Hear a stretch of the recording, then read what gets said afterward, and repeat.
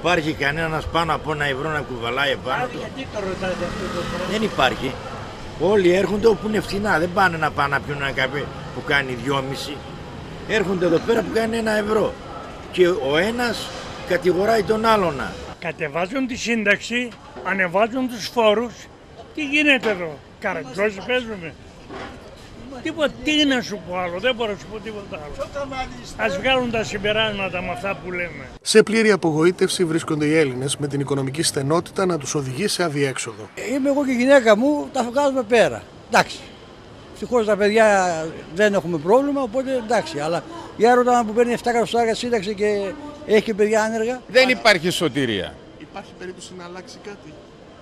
Από ποιον; Από ποιον; Ποιοι κυβερνούν; Πρώτα κανονίζουν την πάρτη τους και μετά όλων των άλλων τον χρόνο. Καλημέρα. Σε έρευνα που πραγματοποιήθηκε κατά τη χρονική περίοδο από 16 Φεβρουαρίου έως 28 Απριλίου, το 98% των ερωτηθέντων δηλώνει αγανάκτηση από την οικονομική κατάσταση που επικρατεί στην Ελλάδα. Όλα ξεκινούν από την άσχημη οικονομική κατάσταση και τις οικονομικές α, δυσκολίες που βιώνει ο λαός της χώρας μας, η μέση οικογένεια. Ε, τις δυσκολίες αυτές τις ζουν ακόμη και αυτούς που θα τους αποκαλούσαμε εύποροι. Ε, είναι αδιαμφισβήτητα αρνητικό και απογοητευτικό όταν σου επιβάλλονται συνεχώς νέοι φόροι και το εισόδημά σου, ακόμη και αν είναι ένα καλό εισόδημα, ε, το εισόδημά σου μειώνεται. Ε, αυτά όλα τα πράγματα δυστυχώς προκαλούν αρνητικές ψυχολογικές επιδράσεις οι οποίες μετά ε, εμφανίζονται και στην καταναλωτική συμπεριφορά. Αυτό άλλωστε στην επιστήμη μας είναι και ε, αποδεδειγμένο ερευνητικά, επιστημονικά, με εμπειρικές μελέτες και δεν το αμφισβητεί κανείς. Μάλιστα, το ποσοστό αυτό είναι το μεγαλύτερο μεταξύ των αναπτυγμένων οικονομιών, όπου το 51% των ερωτηθέντων εκτιμά ότι η οικονομία βελτιώνεται, ενώ στις αναδυόμενες οικονομίες το ποσοστό των αισιόδοξων είναι 45%. Καταρχήν η άποψή μας είναι ότι πρέπει να, να σταθεροποιηθεί η κατάσταση στην χώρα.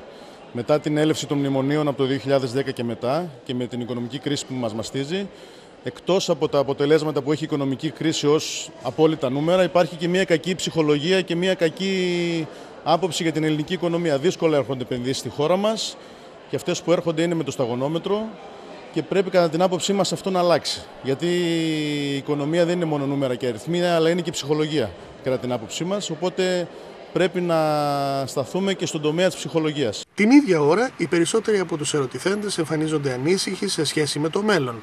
Μόλις το 41% των ερωτηθέντων θεωρεί ότι ένα ανήλικο παιδί στη χώρα τους θα μεγαλώσει με καλύτερες οικονομικές συνθήκες σε σχέση με τους γονείς του. Οι περισσότεροι απεσιόδοξοι για τις προοπτικές της επόμενης γενιάς εμφανίζονται οι Γάλλοι, οι Ιάπωνες και οι Έλληνες. Εάν δεν βελτιωθεί ε, το έλλειμμα του δημοσιονομικού προ, προϋπολογισμού, όχι τόσο το περίφημο πρωτογενές, αλλά να, να υπάρχει πολύ μικρό δημοσιονομικό πλεόνασμα.